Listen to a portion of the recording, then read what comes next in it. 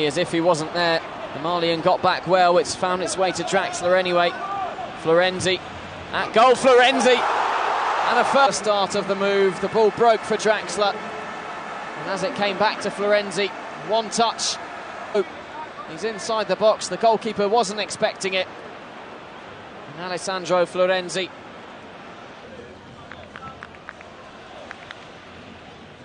with a very well taken finish.